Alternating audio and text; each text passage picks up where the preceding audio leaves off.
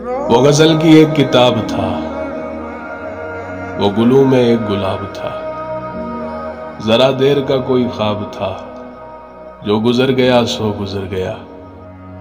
वो उदास धूप समेट कर कहीं वादियों में उतर चुका। उसे अब न दे मेरे दिल सदा। जो गुजर गया, सो गुजर गया।